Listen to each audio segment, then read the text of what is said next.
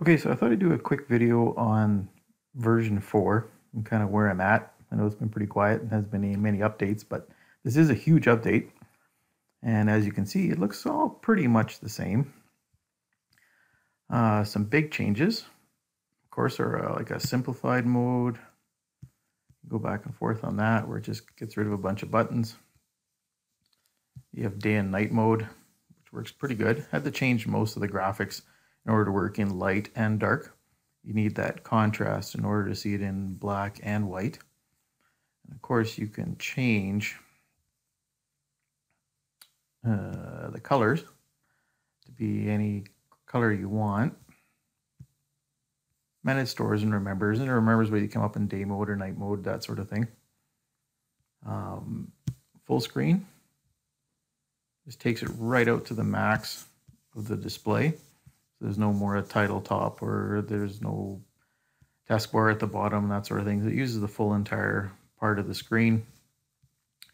The uh, tool setup, you can have, choose your different tools. There's none of this picking ahead or behind or that sort of thing.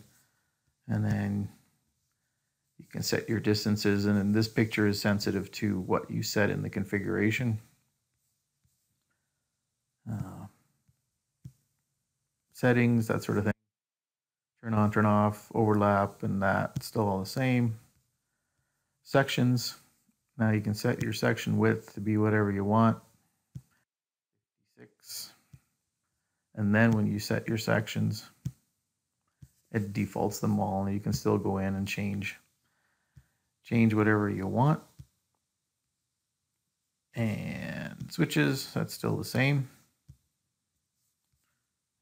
The tractor, choose whether it's four-wheel drive, just a normal tractor or a combine. Antenna screen's much the same, distance the antenna, that sort of thing. And as this changes, it changes accordingly to what you choose. The vehicle turn radius and the hydraulic lift works with the headland stuff. Show that in a sec. And the guidance, there's only one snap distance now and the rest of that's the same. Don't want to cancel that. Okay, so turn U turn on, turn the headland off and on. You can see that the thing is green. That's part of the hydraulic lift. It knows when you cross the line.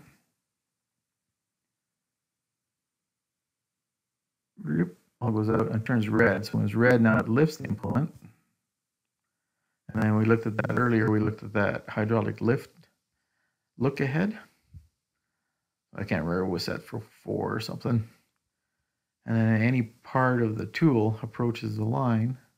One, two, three, four. Then that lifts the implement. And then, of course, it turns on and off the sections based on uh, the headland line. That all works pretty good. The buttons are auto sizing now come out of full screen. So they it doesn't matter whether you have 16 or whether you have five, it'll auto adjust and, and still fit on the screen. None of the two line stuff. So when it gets small, of course, they're pretty small buttons, but they're still buttons. More of a visual thing. I mean, who's going to control 16 buttons? So that all works pretty good.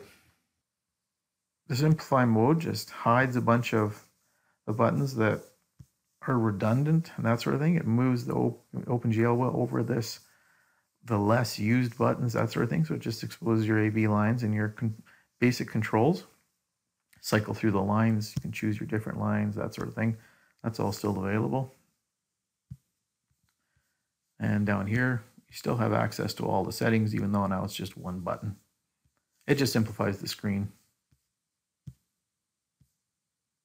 So yeah, there you go. Works pretty good.